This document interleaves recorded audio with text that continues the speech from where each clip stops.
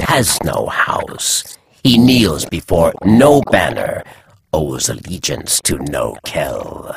He, is a murderer, and very good at what he does.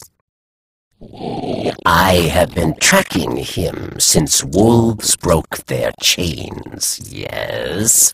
Now Tanix works for Wolfpack, but not for long.